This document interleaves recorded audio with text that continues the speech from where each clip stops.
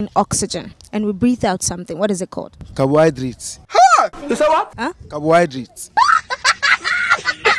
carbohydrates. Will you keep quiet? That's the uh, carbohydrate. I will send you to the mortuary the next minute. I mean it. Humans, we breathe in. The air we take in, we take in oxygen. What do we breathe out? Baby. What did you just say? Baby. How is that even possible? Go and ask your grandfather.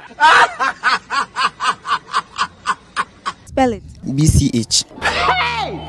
I die. You stepping out of your lane once again, so I might have to smack that ass.